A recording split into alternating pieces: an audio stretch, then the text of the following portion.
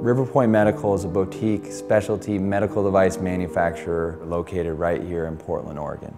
We're a small company and that brings big advantages. We're fast, much quicker to market.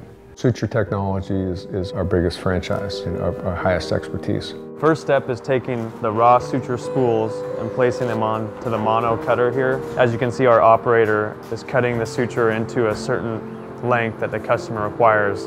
Well, that's the beauty of being vertically integrated is we have ultimate control of every process step there is. The reason that I selected the Riverpoint suture was the combination of knot slidability and ability to tie it tight.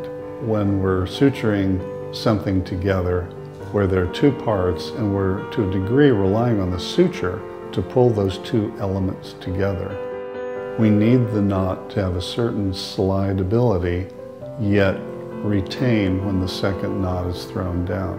And this sounds simple, but it's not. This is where we actually crimp the needle on to the suture itself. Everything's predictable, everything's transparent. We have ultimate visibility on the line. So once the suture is successfully attached, we move on to our winding station. This is where we actually wind the suture onto our figure eight, and then she'll send it down the line via conveyor onto sealing and packaging. Because of Riverpoint's racetrack design, the suture is flaccid. It doesn't have any built-in spring, and it's where you last put it. So you reach for it, tie, cut, place the suture, and it's been my pleasure to have used it uh, in clinical applications. I like it quite a bit.